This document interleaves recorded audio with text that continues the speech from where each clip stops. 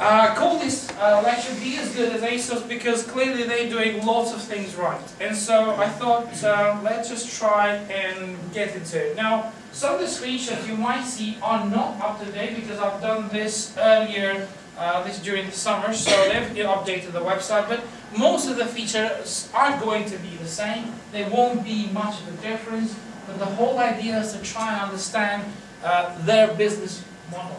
So, what we're doing today is that we're trying to see uh, why these things work with ASOS and what are the things that they're getting right most of the time. Okay, let's just look at some of the numbers behind the scene. Of course, in the last year they made 238 million revenue, so there is an M missing in there. It's definitely not 238 pounds, okay, because that wouldn't be good enough for them. Um, they have around 2.8 million Facebook fan page, uh, fans. So from last year,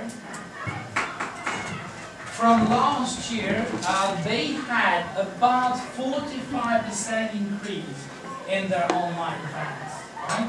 And that comes as a result of their continuous engagement with the fans on with online, but also delivering and giving freebies and discounts and things like that to their fans online. Because remember, to get something back, you have to give something, right? So as a business, you give something to the customers and you get something in return. So it's give to get, right? And the perfect tool to do that is, of course, social. And we, we've covered this in our social networking module, but we'll, we'll talk about it, I'm sure, again but it, it, it's the best tool, it's the best communication channel you can do, uh, you can use to, to do that. Uh, of course, with the followers as well, I think they've increased followers around 65% from the last year. So you're looking at a really active social, uh, well, social media kind of uh, improvement from ASOS recently. Uh, now, let's look at some of these things. To understand the business model of any e-commerce site, you've got to look at some of these things, right? Because they just give you an idea about how do they do with product modeling, how do they organize it, how about the stock availability? Remember, you should not be selling things that you don't have in your warehouse. Now, how do you do that? You've got to make sure that uh, the system that you're using in the warehouse is, of course, connected and synchronized live with live updates with your front end, which is your e-commerce website. Now, Richard has talked to you about the uh, components of, and infrastructure of e-commerce site. You should be able to link this with, with that, okay? So now we talk about the front end, but of course, everything is linked to some sort of uh, back-end process. The next thing is, of course, shipping costs. You need to know how much are the shipping costs for any business that you're doing online because that could really make or break the business. And that, that, that's how big it is. Now, if I tell you that Amazon just in the last 12 months, they kept losing lots and lots of money, like millions, according to Bloomberg TV the other day, just by giving free shipping. However, they covered that with some other areas of their business. But offering sh free shipping is not always a great idea. But of course, it's a trend, Every other e-commerce business is trying to do it. And of course, if you want to compete with them, you've got to think about giving uh, offer free shipping. But of course, for the business, that can be a killer. Because shipping is always very, very expensive. Now, depending uh, on what you sell online, for instance, for Ocado, shipping is super expensive. Imagine of selling, uh, selling products like wine and things like that, how expensive can they be? And that's why they don't offer free shipping. But what they do offer is that a membership fee that you could pay to be able to get the free, well, free shipping. You paid for it, but you pay slightly less because you become a member of their, of their uh, community, right? And you could do slightly similar thing with Asda Online as well. Do we have anyone who buys uh, shops online on Asda? Most of you shop in the store, but if we have anyone, you'll probably realize that you can do the same thing with us. You can pay up to, I think it's 30 pounds for three months. unlimited free delivery online. So you would pay £30 and you'll get a free delivery for three months, anytime you like. You just buy a bottle of water and they'll deliver it to you. And I, and I think it's quite interesting, but of course it's not free because food is heavy.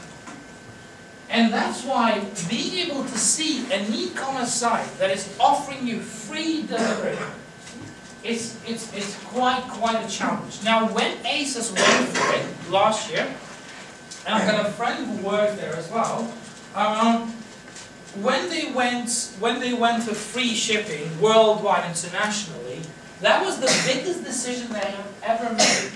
And according to, to their CEO, he was really scared that that was going to, you know, really affect the business big time, and it did.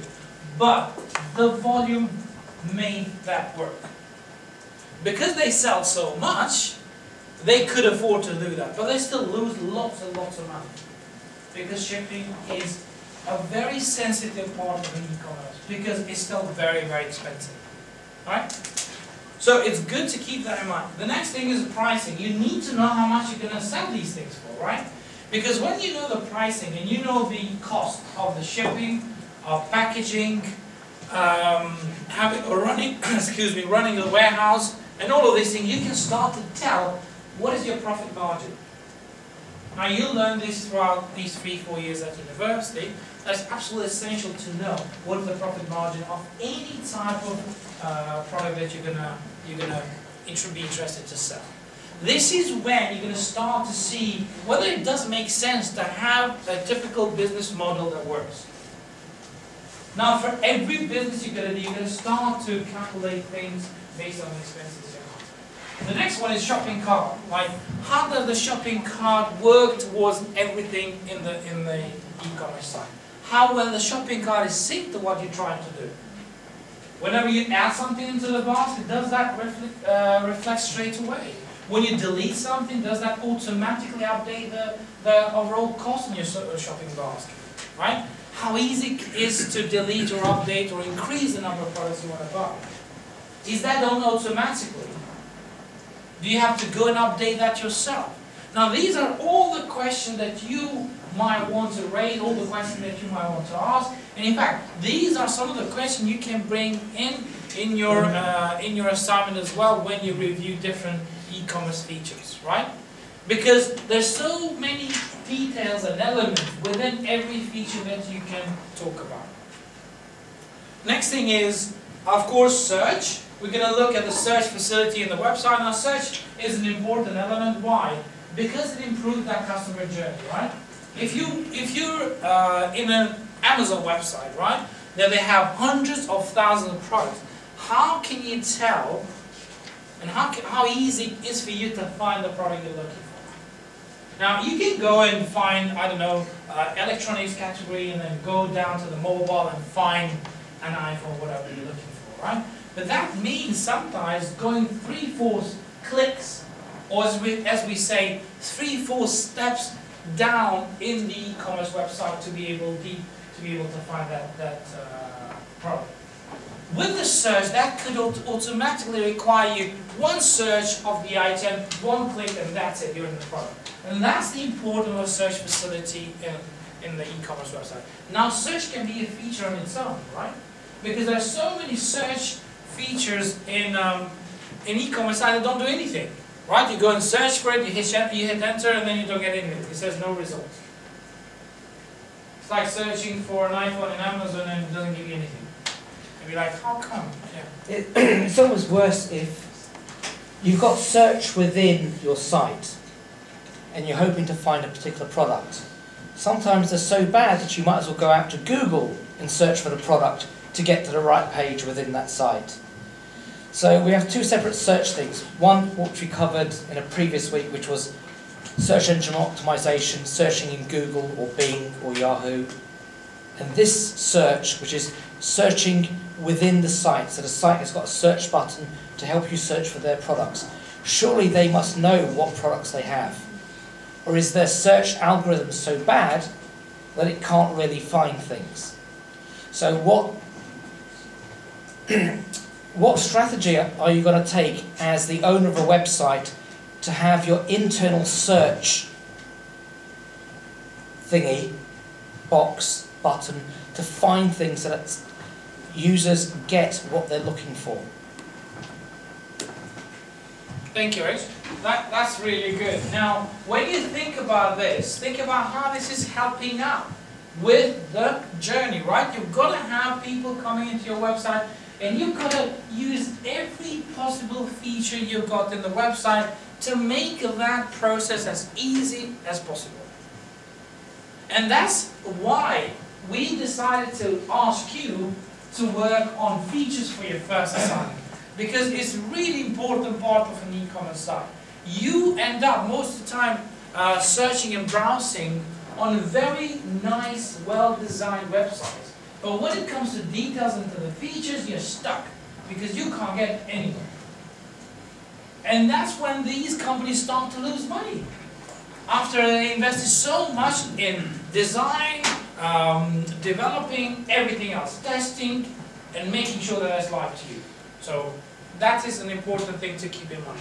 Next one is payment. What types of payment do you, do you accept as a business? That's an important element. Why? Because that could really be uh, something that can either stop or help you reach out the goals you have as a business. Because if you're accepting PayPal and not accepting any other credit card, then you're limiting yourself because there might be people who say, I don't have a PayPal account, I have a credit card account. I have a credit card, so I want to use that. So having multiple choice payments is always an important element when it comes to. But then, does it work? Is that synced well with the payment and with the product? When you sign in with your PayPal account, and then you're accepting to pay for it, is the browser automatically going to return you back into your e-commerce site to confirm that you actually purchased the product? There are companies who haven't done a very good job with this, so as soon as you're paid using PayPal, you're kind of stuck with PayPal. And they don't bring you back into the e-commerce site to show you that, to give you a confirmation, yeah, I've just purchased, you paid for it. So now the product would be prepared and then shipped to you. Okay? Yes? The feature that eBay is uh, developed where it actually just shows in a little box. Nowadays that um, what's this, it connects you to PayPal, Yeah. but you're still on the eBay site. I don't know if you've seen that one. Uh, I didn't really catch all the, what, what you asked for. Can you repeat it again, please? Like, you know you said that it's talking about sites that lead you to a different, like, to PayPal. And Yeah. then you just stay in PayPal, you don't go back to the original Yeah. e-commerce site. I think eBay has started, has developed some community standards, like, small ones. Yes. On other sites, you go to the payments, you go over And then the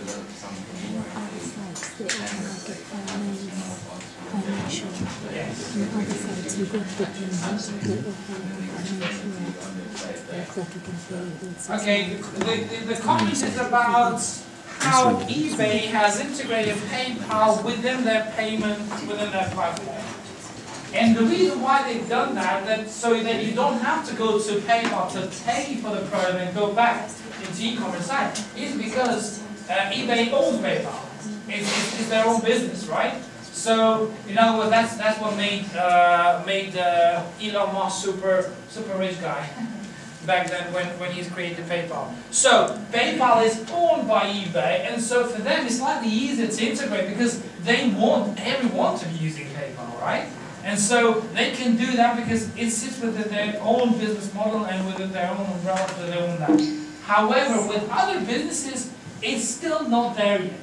The other businesses, they will get you out to PayPal, and you will be in a PayPal payment website, but then as soon as you confirm, automatically they will they will get you back to the website, to the e-commerce website that you're purchasing from, with a confirmation telling you that you've just paid for that product.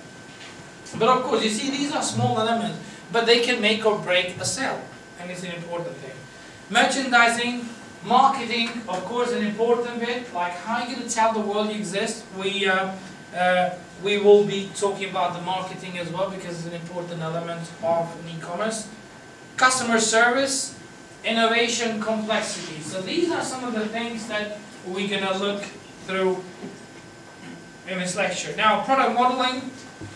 There are so many things that businesses need to think about with the product modeling. There are so many things that they need to be aware of. Now, when it comes to ASOS They've got a very good way of doing it. But of course, question that you might ask yourself, what type of products have you got? What data around the products you have got? How can you tell which product is which? How heavy is X or Y? You know, how you you're gonna make sure that they are up to date with your uh, content management system that you're using, right? To manage these products, these these, these uh, services that you might have, right?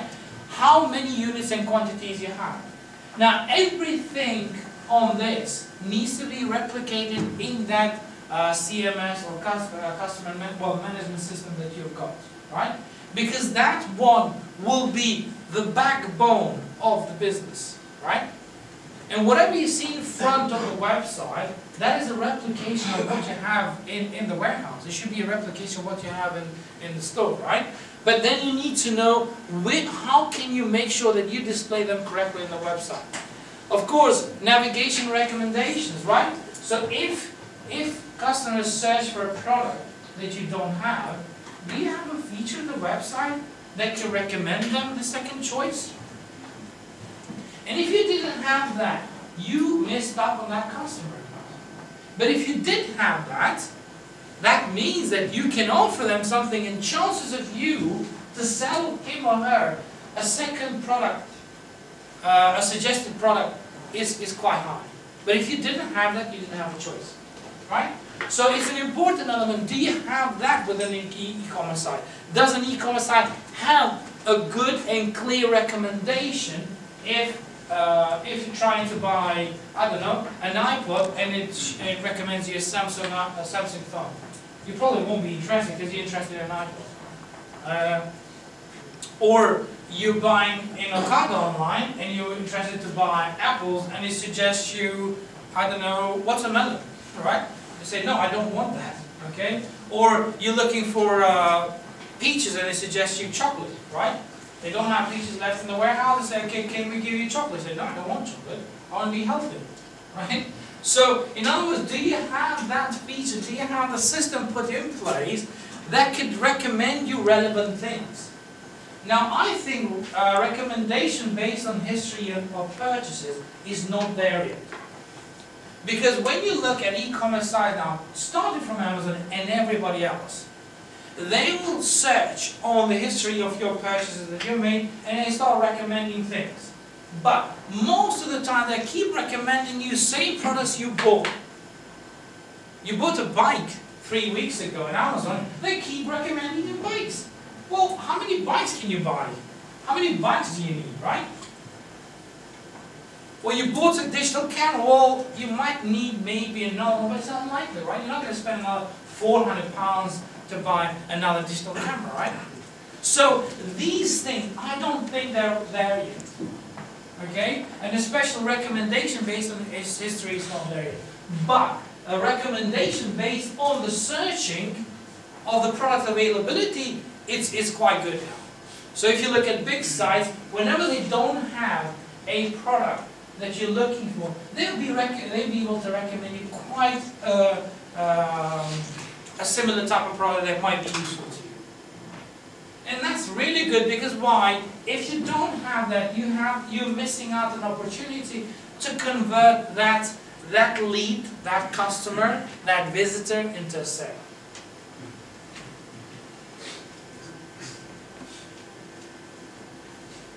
And as you can see, of course, if you start searching for things, for instance, in ASOS, you'll clearly, if you search for specific types of products, you clearly will get similar options all the time, which is part of their, of their uh, system. Stock availability, as I said to you earlier, is absolutely essential for you to be able to buy only things that the company has in the warehouse. There's nothing worth selling something you don't have. Because that customer is going to be upset. That customer has bought that product because they're preparing for a wedding, for a party or something like that. It's, it's so disappointing, right? You will not want to get back to the website ever again. So, uh, an availability to make sure that these things are connected, the systems are connected. And only when the systems are connected that makes sense. So the front end website will not be good enough if you don't have the warehouse, the payment in place, the payment gateway put in place, customer support in place, that are synced and that work very well together. Imagine if you forget about the App Store while you have an iPhone, right? Take out the App Store when you have an iPhone. It's a brilliant piece of technology.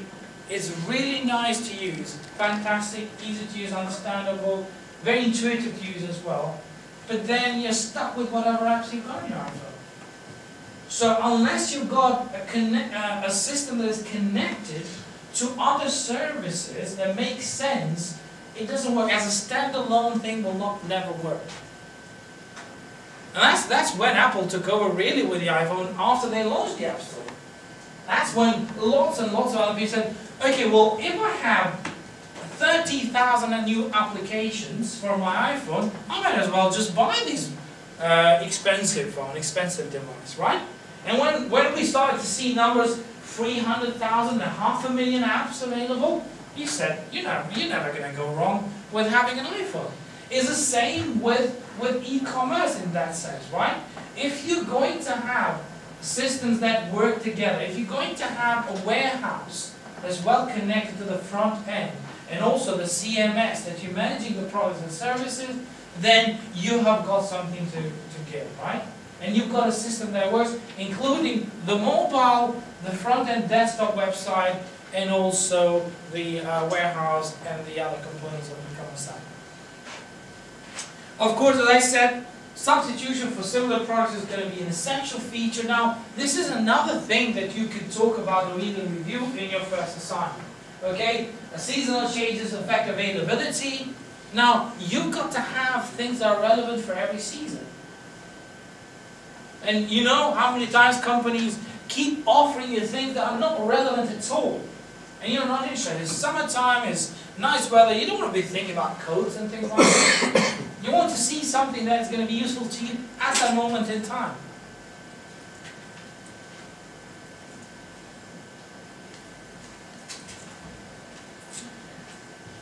Shipping.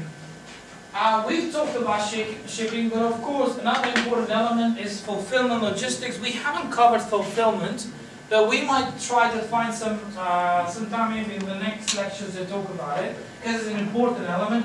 Fulfillment, if you have never heard of it, it means a company needs to fulfill the, uh, the promise that they made to a customer. So you need to deliver on the promise you made to a customer. That's what the fulfillment is, putting it simply. But behind that keyword only, there is a very complex process put in place that enables what? To manage the warehouse, manage the products, and then manage the shipping and delivery. Right? And that is a process and a job and a complexity of its own. It's really hard, it's very difficult. Um, but of course, in this case, uh, I think with, with uh, ASOS, they're building a new fulfillment center, the new uh, warehouse in London as well. They want to have one there, but I think they're building lots of warehouses around the world because what? They want to be as close to big cities as possible. And that's going to help them with their delivery, that's going to help them uh, with customer support, that's going to help them with return products, substitutions and things like that. So it's really going to change everything. Uh, speed of delivery, next day, evenings, now have you heard that um, eBay, I've tweeted about this as well, eBay is, uh, is uh, experimenting with one hour delivery, within an hour delivery. As soon as you board it, they'll deliver to you in an hour. Now, how the hell can you do that? Right? It is, it is going to the top of the top of, you know, uh, delivering product as soon as possible to the, to the customer. Now, if we can get that right, it's going to be very hard to like compete, even though as a business model and as a uh, service, eBay is not necessarily always the best service.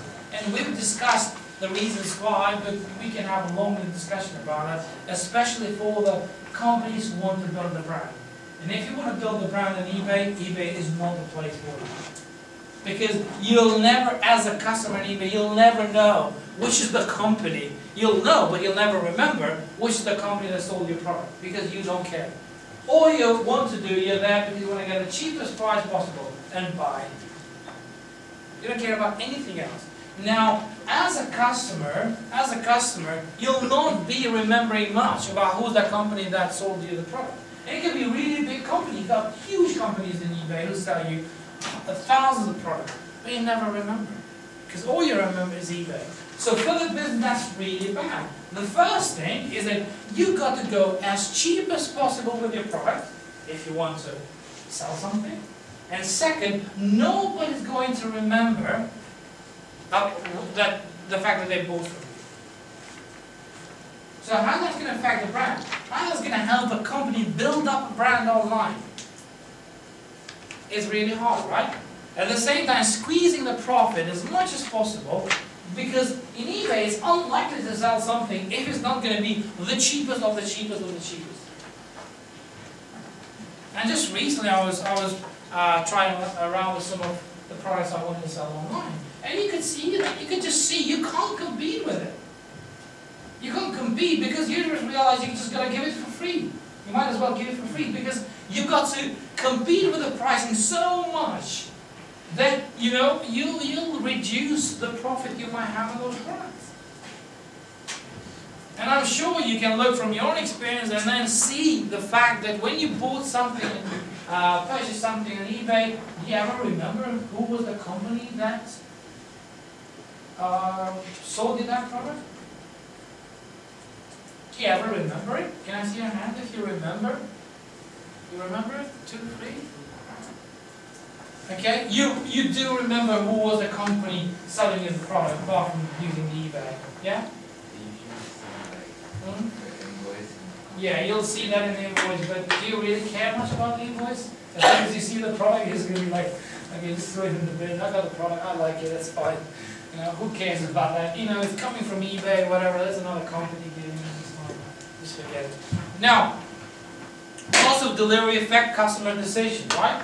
Now, there are so many customers online, but also a research that was done recently, one from Boston Consulting, one from McKinsey, that found out, out of thousands and thousands of customers, that customers are more happy to pay extra for a product but not pay for a shipping. That's quite amazing, right? You say, I can give you a cheaper product, but then I'll ask you to pay for, for the shipping. They say, no, no, give me a more expensive product, but take off the shipping, because I don't want that. It's almost like a trend, right? People just want free shipping. No matter how expensive the product is, they want a free shipping. It's almost like a mindset, right? But it's so interesting to see how this is developing because I think this can really affect any e-commerce website. It will affect every e-commerce website because not every e-commerce website will have huge volumes in sales. Yeah. I think part of it is people don't like hidden costs. Yeah. you know, you, you see a price, uh, and then it excludes VAT, so you've got to add that on. And then you've got shipping costs, and then let's say you want to return it, then you have to pay for the return packaging. Well, the packaging is included, but you have to pay for the return cost. I think people prefer it if there aren't things added on. Uh, and you kind of look at the success of Wong- Wonga.com. If you look at the APR, it's exorbitant. It's horrendous. Why would anybody go there if you actually look at what you're paying back? Yet because there are no hidden charges, you kind of feel, well, okay, that's the price, I'll agree to it. And there aren't any more hidden charges. So maybe that's a cultural thing in this country. We don't like extra hidden charges. Thank you. I think that's absolutely right when you think about it because it's been, if you think about previous years of services we've received, right? You, you've only understood about hidden costs when you actually dwelled into it yourself. You say, oh, how much I'm paying for this? How much I'm paying for that? How much I'm paying for that, right? Because companies just covered everything for you. You had no idea what you were paying for. And again, I think that is as a, as a result of that. Of course, the next one is how are returns handled, right? Now, if you're going to give a free delivery, and then somebody's not happy with the, with the product as well, they're going to send it back to you. Well, that's another extra cost, right? So you're just losing money with a free delivery, losing money with dealing with returns, how can you afford that, right? Now, if you're a huge giant fish like um, like Amazon, you'll handle it because you've got other sides of the business subsidizing you for the main operation that you're losing money. But with a small, very small business, that becomes a really big problem because that could just kill it. And that's why I think that the idea of having free shipping and of course the trend that is developing, it could be very, very challenging indeed for newcomers into the market.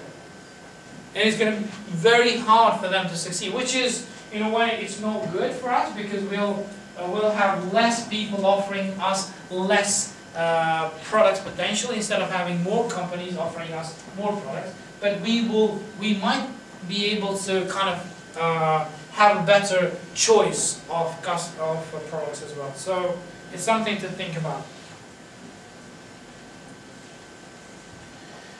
Now, pricing. Are you making a profit? And this goes back to, this is when you start to look at your business model and start to look at your number. Start to look at expenses, shipping, packaging, um, preparing, dealing with returns, all these things, how that's going to affect your, your earnings, right? Of course, these are some of the things that really uh, will affect your pricing too. Now, if you're going to offer a free shipping and you're selling product at the base price, now how that's going to work, right?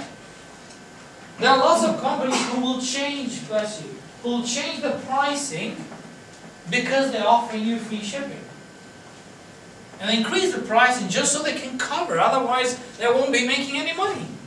But if you're on eBay as a business selling, you know, you can't increase that bit of a price because they're going to have 10,000 other companies giving you for at least 50 or 25% cheaper than yours. And you're nobody's just going to buy yours. So price comparison and, price, and com competitiveness in price in, in some of these big, big e-commerce sites like eBay, it's, it's, it's, it's a very challenging thing. And, and I think it's, it's something that uh, needs to be looked at, but of course, uh, I don't want to get into that too much now. Um, now, transparency is an essential bit. How many times, how many times you ended up going into an e-commerce website where after you've to the basket, you wanted to check out, only then, when you confirmed your, set, uh, your product, they told you that, oh, by the way, you're going to pay another 10, 15 pounds for a delivery, right? Or you're going to have a hidden costs like taxes and things like or VAT or whatever, right? Why are they giving that in the beginning? Why are they not even including that in the price? So all of these things that even Rich, uh, Richard mentioned earlier are really affecting overall customer journey, journey overall conversion rate. Remember, you're trying to sell online. And it was last year when I also tweeted and written an article about the eBay when they had the feature, now they changed, but they had the feature where they asked you to confirm the product, which means you would commit to buy, right? You commit to buy, but you had no idea about the shipping cost. You know when you knew the shipping cost? After you confirmed the buy. So there's no, you'll have to buy. It's like you committing, it actually says in there, you confirming to buy, you've got to commit now. And that was last year feature that they had, right? And then after that, you will, especially if you buy outside UK, that means, especially if you buy from China or US, that means another 25, 35 pounds of the shipping cost that will be added to your overall price, to, to the cost of that product. And you say, what? I bought a product for like 15 pounds? I'm going to pay 20 pounds to get it delivered to my house? No, I don't want that, but of course you can't change your mind now because you confirm the price, you confirm that you're going to buy. And that was really annoying because I've tested out with several products and it kept happening the same thing. And they, they, they slightly changed now, but all of these hidden ways of trying to convert you and then give you very, very cheap prices without introducing you to other extra costs you have after it, it's, it's, it's a killer for a customer. And it's probably, eBay is not my choice of, of shopping online. I probably, I, I use it from time, but it's not my choice. for very specific reasons I mentioned earlier from a business perspective as well. Because I'm an entrepreneur myself and having to fight for a price when you know you've got a good quality product, it's, it's, it's, it's a very painful thing. Right? When you know, it's like, it's like trying to compete, it's like you're Apple and you're trying to sell your iPhone, you're trying to compete with all other worse devices out there on the price and have to give it cheaper than any other much worse device than the, than the iPhone. That'd be ridiculous. Okay, uh, the other thing that affects affects the, of course, the pricing is, of course, uh, uh, suppliers give uh, will sell you the product with a specific price. Then you start to work out how much you can sell that for, how much is going to be your cost, delivery, packaging, and things like that, and what is the expected profit margin on the product. And that's when you start to see real numbers. That's when you're going to decide whether you should go into that business or not. And if you ever talk to the people who invest in business businesses like angel investors or like uh, uh, big company that invest into new businesses, they'll ask at least, They'll want data. They'll want numbers. They'll want to see how much they'll they'll get in return. When is that overall return investment or break-even point for the business?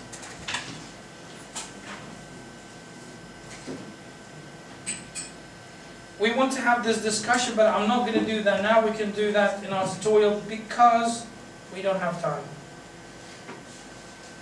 The shopping cart basket journey. Of course, there are all sorts of things that um, uh, are going to affect the overall customer journey, but an ability to have a shopping basket that is synced, synchronized, updated, however you want to call it, with the real with the real stock that you've got available is going to be absolutely essential. Now, of course, the other thing is providing reassurance as customers start to add things into the website, into the basket, you start to reassure them that everything they're about to do now, from this point on, is safe and secure.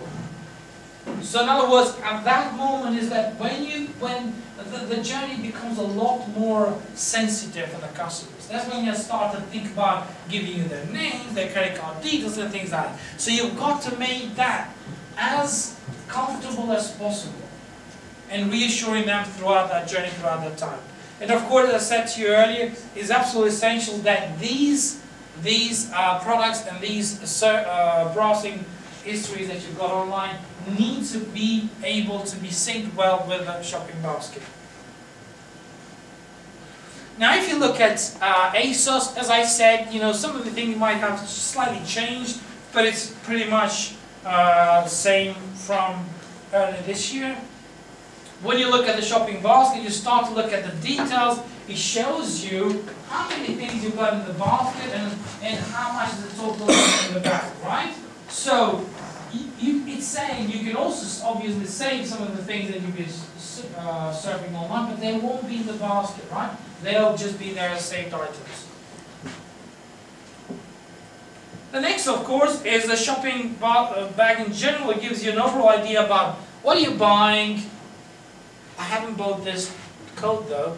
It looks quite nice, but uh, I might I might need to get back and check what they've got available. Now, um, you see, you've got you've got the clear description about the product, the size, You've got the delivery options and everything else. It also gives you the uh, payment option for, for the website.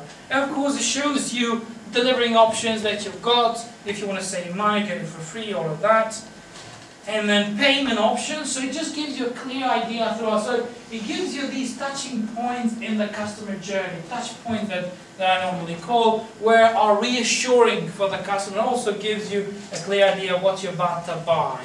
And so you say, and that, that's very clever. Pay securely now, that's quite comfortable, comfortable, isn't it? So it's quite, quite nice to see that. And this also gives you an idea about free delivery and how they uh, deal with returns and everything else. Search, again, we've talked about this. I don't want to get into my details, but search needs to be indexed and well integrated within the website.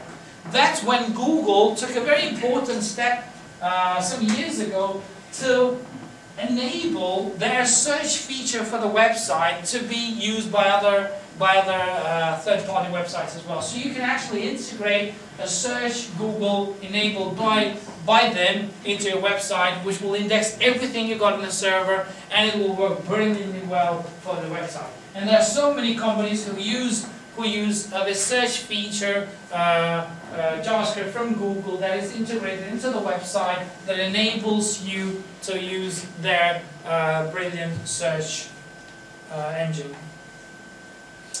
Now, when it comes to ASOS, again, we talked about being able to what? Manage merchandising, ma managing what you've got available, frequency of updates, how many times you can update with a product, working with suppliers, how well you're going to do that. Of course, personalized to each client. Now, this is very important, and they do quite a good job because if I go and sign in with my account now, you'll be able to see that what they're offering me is actually quite quite spot on. You know, I could easily go and buy because what they're offering me is normally what I buy and the things that I like. So it's so well synchronized with my personal history that it does make it quite easy for me to buy, enjoyable, and I can see new, uh, I don't know, new clothing line that they're presenting that I might be interested to buy. And of course, search facility works fantastically well, supporting navigation, as you can see, you can get straight to what you're looking for, uh, whether supporting help, browsing very easily, and of course, it shows you favorite brand they work with. Now, as soon as you see that, you get a feel that what you're going to search in this website is actually going to be quite useful, quite neat, and you, you might end up getting some quite good products as well because there's some big brands in there.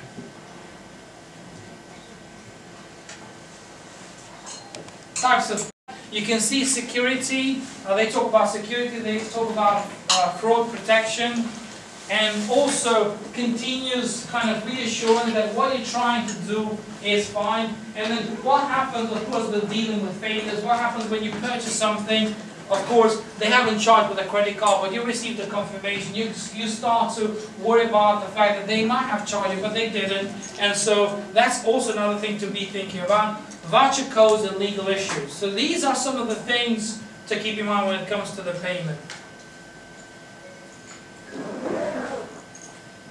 Now, again, another thing that you could do when it comes to the marketing, of course, what they do, they pro provide very personalized uh, uh, email newsletters that they send all the time. So when I look at my newsletter, it's actually quite, quite spot on. So in other words, it gives me the things that I might be interested to buy. So in other words, I could very likely become a, a really big spender on ASOS website. Because what they're giving me sometimes a bit too often, like every single day, well, I'm not going to buy every single day, uh, but uh, again, it's, they, what they're offering is quite good. Of course, they have got a very well synchronized social presence where they offer different types of uh, clothing lines to, the, to, their, to, their, to their visitors. And now, I think this is taken from my page in ASOS, and it just it just shows that some of the things that I bought, they worked out pretty much well what I could be interested in, right? And so as soon as I go there, they'll give me a, a page where it shows some of the things that I might be interested to buy, right? So it's so well tailored with my buying history that, you know, I'll look at it, I'm like, well, I can see some good things in there. I'll probably like that shirt there, I can like, I like the pants. And so, yeah, there's some good things in there which I might be willing to, to buy, right? And this is an opportunity, and that's why they've got a very fantastic Uh, uh, e-commerce platform. They keep redesigning and, and improving. Of course, a really neat feature in here when it comes to, to signing up is that they say, okay, provide us with email, but we never know whether you're male or female, so tell us. Male or female, right? Tell us who you are. So we can work out. So we have a very neat little feature in there. It gives us an opportunity to know who are these customers. Because with the email, it's hard to tell, right? especially with an email like 2355 at hotmail.com. You know? And it's just no way you can tell uh, whether that's a male or female. Of course, customer service is, is really brilliant, and what they have that is so nice is, is uh, FAQs, frequ- frequently asked questions. They're very up to date. They show you most questions on how to deal with returns, how to deal with payments, uh, and also they have a very good presence in social media, which helps the business a lot. And help and contact, and this is this is like a really good sliding feature in their in their uh, search for support. And as soon as you start to rolling over into different questions, they give you the answers, and that's quite useful.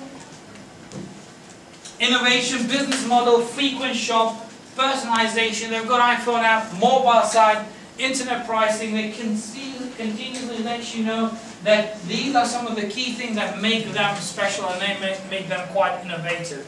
And of course, all of them are part of their business model that sits within, within this framework. And of course, many, well, almost every year they win awards for being the best of the shop, the shopping experience online, and uh, that is quite, quite interesting, quite cute. Thank you very much indeed, and if you have any questions, please ask.